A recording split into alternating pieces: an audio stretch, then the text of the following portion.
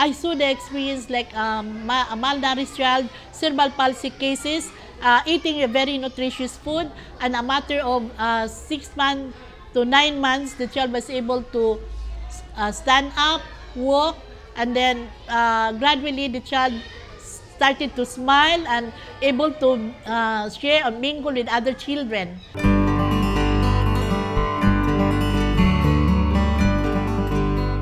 Lourdes Parish Feeding Program, because we focus on malnourished children, we also uh, focus only the underprivileged children. These are the um, families who are really very, very poor near the Parish area.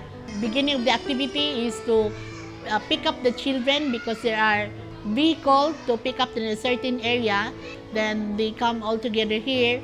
So uh, about 10, 10.30, everybody are here at the same time. So we started the activity by uplifting their uh, spirit to be to be happy, to enjoy life. So we have singing and dancing. So they like it very much. So at the same time, for them also to practice uh, the cognitive part. This time we have about 65 children, uh, starting from infant, one year old up to focus only up to five years old. Mo to gamay kani akong anak sa una, 7 months mi nakasulod diri. Nang di pa siya kabaw mo kamang. Everyday na mong ari, nang kaon siya lugaw, mo nutritious mga ilang lugaw.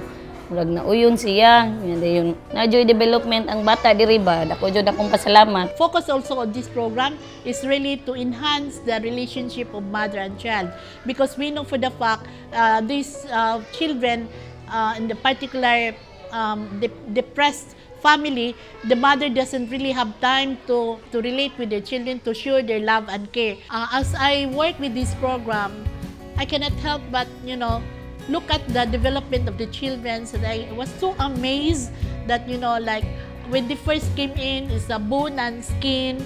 And then later on, the later parts of the program, they started to run around and, you know, uh, able to sing and dance like that. So it's an upliftment for my spirit that I was able to have a certain portion of transformation of life to, with them. Because here, I experienced like every day there is a miracle happening in our program. Every day there's a change that really becomes you uh, part of the transformation of life of others.